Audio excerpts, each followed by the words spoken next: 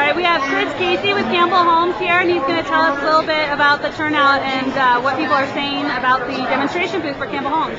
Well, the turnout's been great, and the surprising thing is a lot of people are saying the things. We built these walls with all of our included features with Campbell.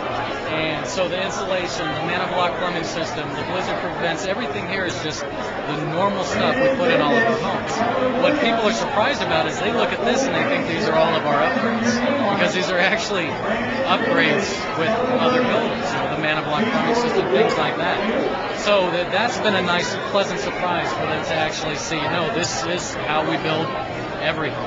And it is an upgraded version or a premium version of other buildings. Great, thanks, Chris.